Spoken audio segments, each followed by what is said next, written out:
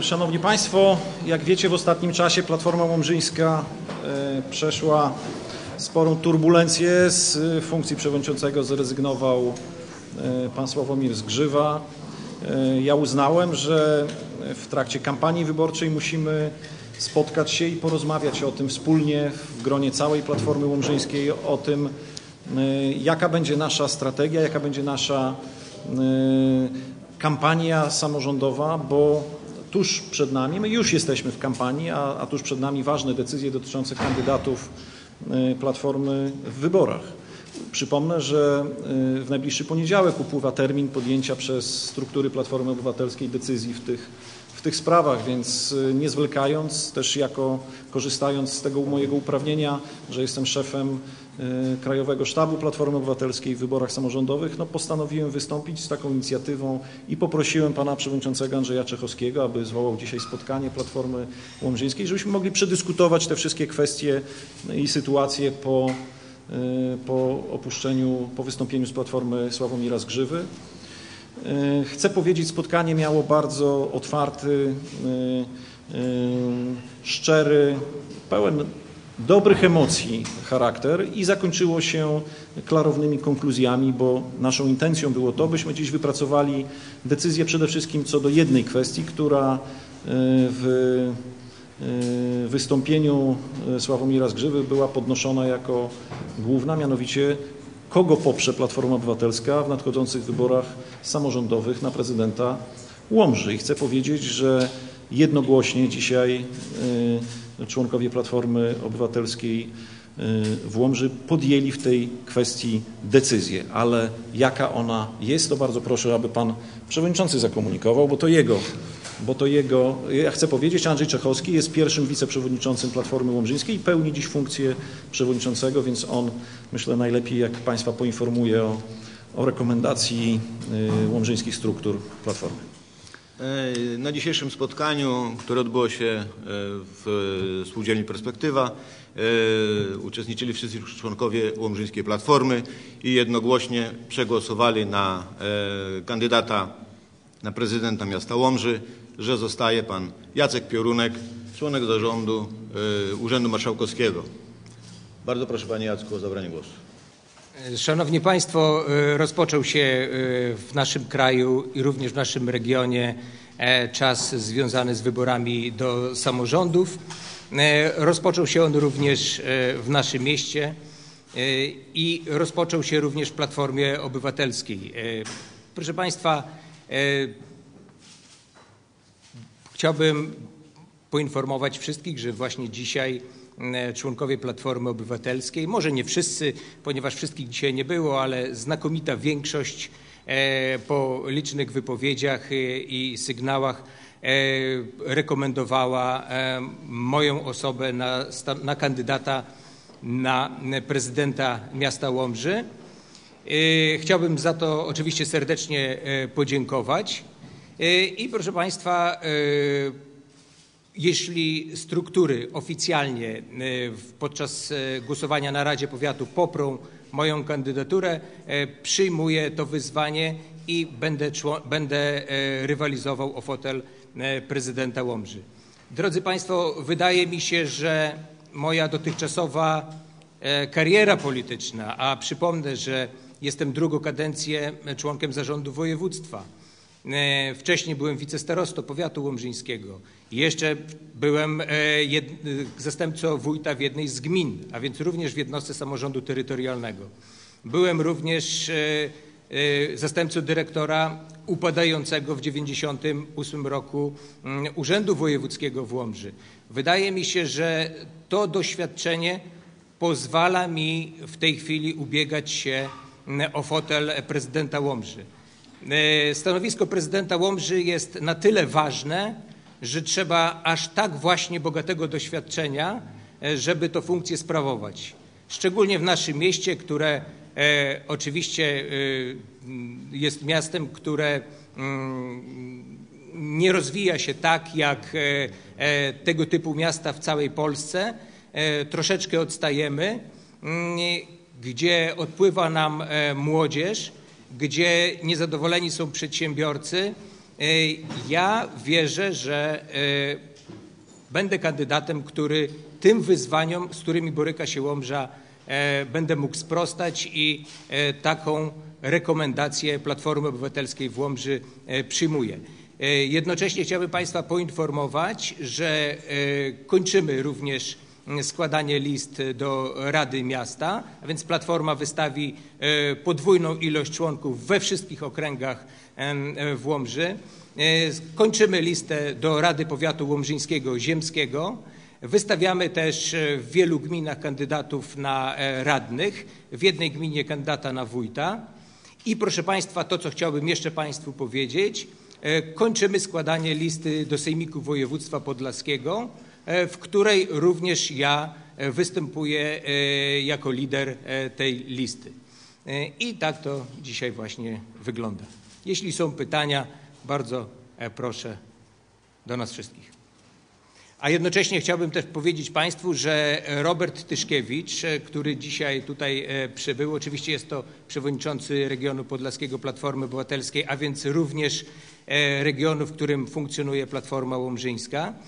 Jest też e, pełnomocnikiem e, e, Donalda Tuska, premiera, ogólnokrajowym koordynatorem kampanii do samorządów w naszym kraju. Także mm, mamy tutaj dzisiaj rekomendacje nie tylko władz województwa, ale również, chodzi mi o Platformę, ale również władz krajowych.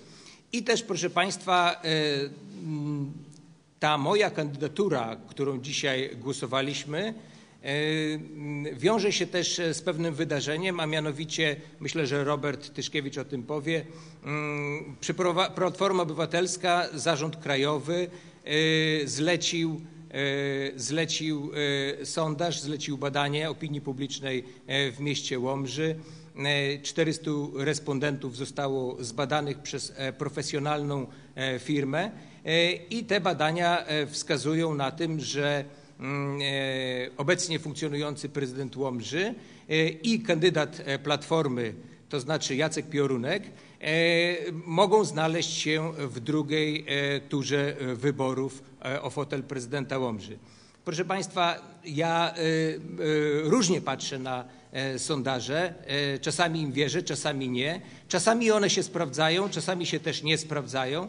Ale wydaje mi się, że jeżeli profesjonalna firma e, przynosi tutaj badania, a mamy je, a mamy je e, w, w, w formie oczywiście e, opublikowanej mm, i przemyślanej, przeanalizowanej, e, w związku z tym no, należy w jakimś sensie temu ufać i e, podejmuję rękawice i będę walczył o fotel prezydenta Łomży i radnego Sejmiku Województwa, tak jak wcześniej mówiłem. Mateusz Grzybkowski, TVP Białystok. Mam dwa pytania odnośnie przegłosowania. Czy byli inni kandydaci na kandydatów e, oraz e, który, Panie Jacku, jest to Pana start na potem prezydenta Łomży? Przepraszam, ze względu na młody wiek e, mogę nie pamiętać. Proszę Państwa, no tak się w życiu złożyło moim, że w swojej karierze e, w tej chwili będę po raz trzeci startował na e, prezydenta Łomży. E, e, Dwa razy, e, ale jeden raz startowałem z Platformy Obywatelskiej. Startowałem w 2000, e, którym to było, e, Czarek? Pierwszym? W 2002, tak, to był e, to, z Komitetu Wyborczego Wyborców. Wtedy byłem osobą praktycznie nieznaną w Łomży. E, Cztery lata temu było już e, dużo lepiej. No i dzisiaj, jak to się mówi, do trzech razy sztuka. Wydaje mi się, że tak jak powiedziałem, swoim doświadczeniem jestem w stanie powalczyć. I te pierwsze pytanie, które było, aha, czy, były, czy byli jeszcze jacyś kandydaci? Nie, nie zgłoszono żadnych innych e, kandydatów. Mm, e, Wszyscy zostali zapoznani z sondażem, o którym, e, o którym mówiłem wcześniej i zarekomendowano mnie jako jedyną osobę na to stanowisko do kandydowania. Maciej Kowalski, Radio Nadzieja. Ja z kolei trzy pytania. Po pierwsze, kandyduje Pan, zamierza Pan kandydować i tu, i tu. To po pierwsze, czy nie jest to asekuracja, że jak nie tu, to tu? E, Po drugie, jeżeli zostanie Pan wybrany i tu, i tu, to co Pan wybierze? I pytanie do pana Czachowskiego. Ilu w ostatnich dniach członków Platformy mm, zrezygnowało z pracy w partii i oddało legitymację? E, Proszę Państwa, e, to nie jest żadna asekuracja, jest to standard. Praktycznie wszyscy kandydaci na prezydentów e, e, startują również e, w wyborach do Sejmiku Województwa. Jest to bezwzględnie polityczne wzmocnienie tych list. Mm, A jeśli chodzi o y, jeśli chodzi o, o to, czy jeśli zostanę i tu, i tu, zresztą był taki przypadek, bo obecnie funkcjonujący prezydent mm, e, był w takiej sytuacji 4 lata temu, e, to nie muszę się nad tym zastanawiać, ponieważ rozstrzygają to przepisy prawa, e, które bezwzględnie e, nakazują e, objęcie funkcji e, e, gospodarza jednostki samorządu terytorialnego. Dlaczego? Dlatego, że e, jego rezygnacja musiałaby wiązać się z powtórnymi wyborami, a w, e, w sejmikach e, jest taki standard, jest taki przepis, że wchodzi następny e, z listy. Mm, Także e, oczywiście, jeżeli zostanę prezydentem e, Łomży i e, radnym sejmiku województwa, obejmuję funkcję prezydenta Łomży. Tak, ja bardzo proszę odpowiem na to pytanie. Otóż e, w ostatnich dniach, tak jak było Państwu wiadomo, odszedł Pan e, Sławomir Zgrzywa z przewodniczącego e, Platformy Obywatelskiej i odszedł Zbigniew Prusiński, e, radny, e, też radny Platformy Obywatelskiej. To są dwie osoby, które odeszły z Platformy. To jest tyle. Pozostaje e, dalej, pozostaje liczebna e, grupa, ponieważ e, członków liczy Platforma na, na dzień dzisiejszy 100 osób, stąd też e, jest jeszcze nas liczna grupka. Proszę Państwa, jeśli Dziękuję mogę, jeśli mogę się do tego odnieść, chciałbym wszystkich Państwa uspokoić. E, Odejście tych dwóch osób e, naprawdę nie ma żadnego znaczenia e, dla funkcjonowania Platformy Obywatelskiej w Łomży. Po prostu no, no, oni sami zdecydowali, prawdopodobnie widzą się na innych listach. Bywają takie przypadki, że ludzie rezygnują. Szkoda, że właśnie w taki sposób i trafiają na inne listy i pewnie będzie tak tutaj. E, Tak jak powiedziałem, e, nie ma to dla nas większego znaczenia, jesteśmy przygotowani, e, mamy już praktycznie złożone listy, mm, opracowujemy w tej chwili harmonogram kampanii. Mamy ogromną pomoc z Zarządu Krajowego, tutaj w postaci Roberta Tyszkiewicza, który, który sam przez się jako mm, cz- przewodniczący Zarządu Regionu na Podlasiu będzie nas wspierał. Także jesteśmy optymistyczni. Proszę powiedzieć, kto rekomendował Pana na, na funkcję prezydenta, na kandydata na prezydenta?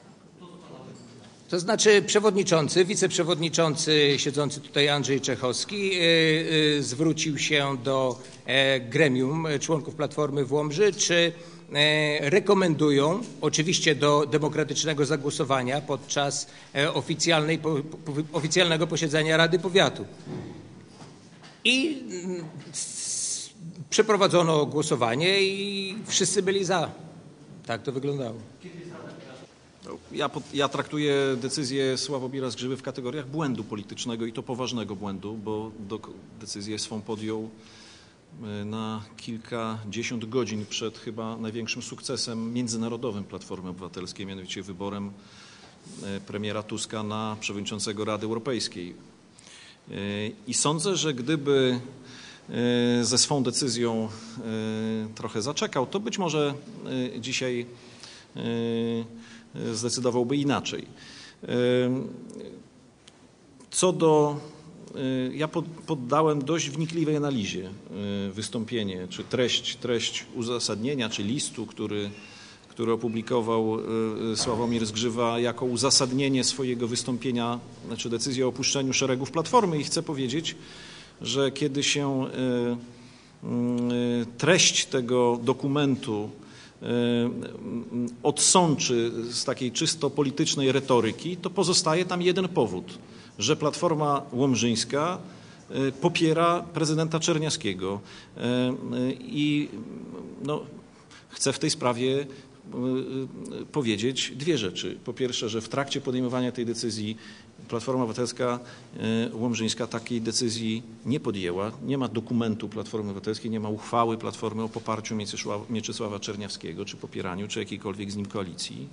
W związku z tym ja uznaję tę decyzję y, nie tylko za błędną, ale i bezprzedmiotową, czyli merytorycznie nieuzasadnioną, bo y, takiej uchwały Platforma nie podjęła nigdy Łomżyńska. A dzisiaj, po, dzisiejszej,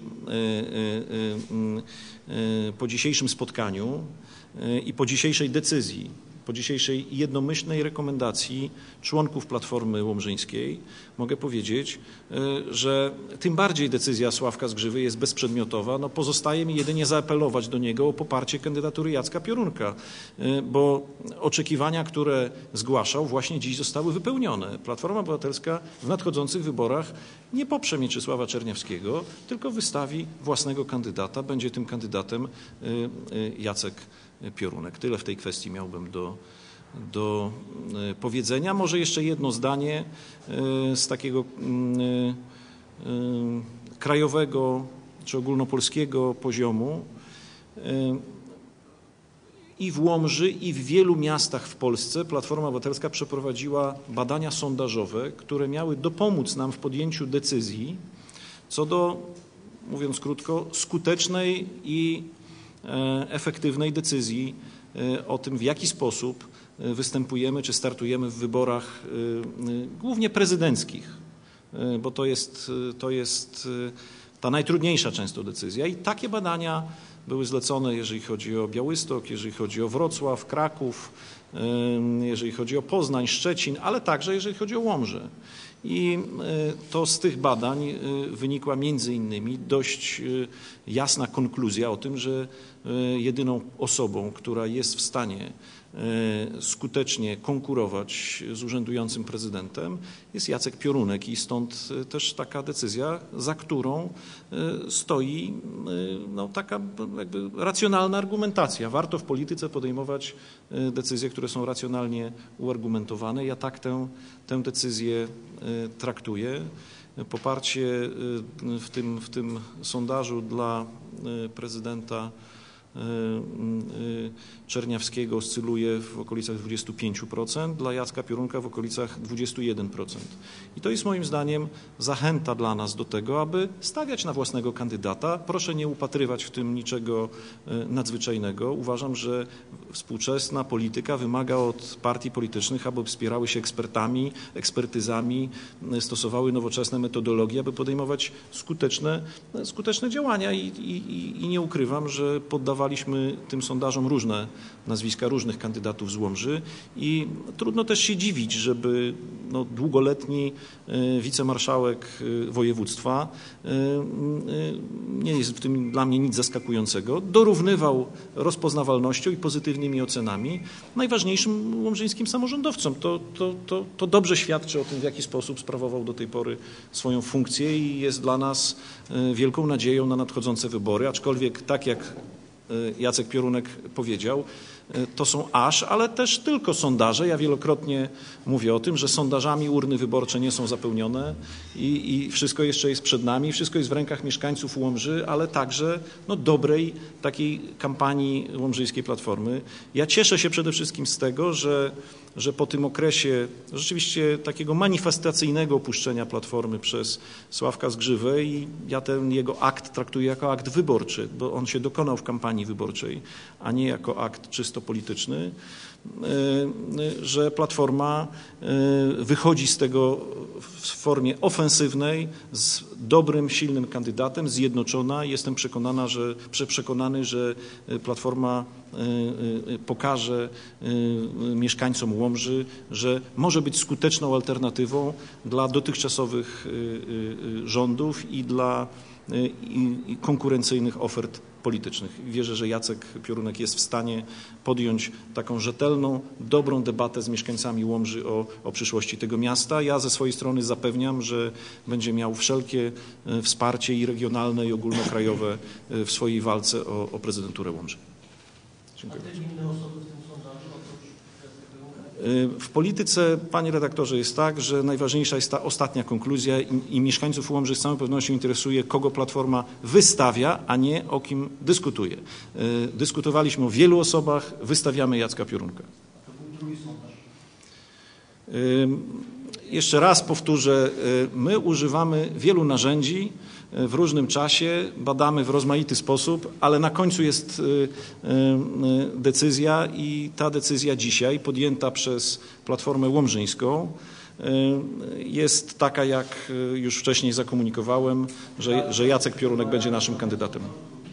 Jeszcze raz proszę. Czy reakcja z była reakcją na ten sondaż? Nie, ponieważ y, ta decy- tę decyzję podjął y, y, no, kalendarzowo, mogę powiedzieć tak, że, że w, ja dzisiaj ujawniłem wyniki tego sondażu, żebyście Państwo mieli jasność. Po prostu sondaż był przeprowadzony w dniach 24-28 sierpnia i mm, ja informację o tym sondażu otrzymam na początku tego tygodnia. Nie informując o tym, o wynikach tego sondażu, poprosiłem Platformę Łomżyńską o spotkanie ponieważ podstawową potrzebą tego spotkania no, było porozmawianie o sytuacji w partii po odejściu przewodniczącego. Zgodzicie się Państwo, że nie jest to sytuacja rutynowa i, i, i, i uważam, że wymaga takiej e, masywnej reakcji i, e, mm, Cieszę się, że tu na tym spotkaniu mogłem, mogłem te wyniki e, przedstawić, aczkolwiek chciałbym też jasno powiedzieć, że e, moim osobistym przekonaniem jest y, to, że poparcie dla Jacka Piorunka y, nie bierze się wyłącznie i chyba nie przede wszystkim y, z tych sondażowych rekomendacji, ale też z potrzeby tego, by mieć silnego kandydata, żeby Platforma miała silnego kandydata w wyborach na, na prezydenta Łomży i z oceny jego osobistych dokonań, bo jak mówię, sondaże są pomocą w podejmowaniu decyzji, ale zapewniam Państwa, że Platforma nie jest partią, która, która y, wyłącznie opiera się na słupkach sondażowych. No, mówiąc krótko, politykę robią żywi ludzie, a nie słupki sondażowe i, i myślę, że jest to taka ocena Jacka, że, że jest ta decyzja. Panie redaktorze, rozumiem dociekliwość e, y, y, i zainteresowanie kuchnią polityczną. Mogę oględnie powiedzieć, że przeprowadzamy, mówię to jako szef sztabu krajowego, nieustannie posiłkujemy się pomocą ekspertów i rozmaitego rodzaju badaniami, jeżeli chodzi o, o, o opis sytuacji politycznej i potrzebne, potrzebne działania i prowadzimy te badania zarówno w skali ogólnokrajowej, jak i w regionalnej. Myślę, że nie jesteśmy jedyni na scenie politycznej, którzy korzystają z tego typu instrumentów. Być może Platforma e, w sposób szczególnie intensywny, ale sądzę, że także inne te najważniejsze środowiska polityczne również z tego typu narzędzi obficie e, korzystają. Był wynik